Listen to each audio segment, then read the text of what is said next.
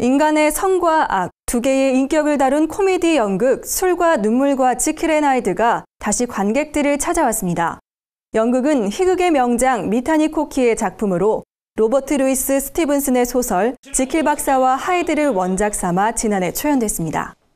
인간의 선과 악을 완벽하게 분리하는 신약 개발에 실패한 지킬 박사가 다가올 연구 발표회에서 자신의 분리된 악한 인격 하이드를 연기할 무명 배우를 고용합니다.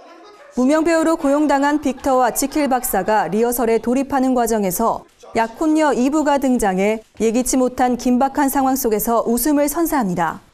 코미디 연극 술과 눈물과 지킬의 나이드는 2015년 초연 당시 인터파크 연극 부문 예매율 1위, 3개월 동안 관객 2만 5천 명을 동원한 바 있습니다.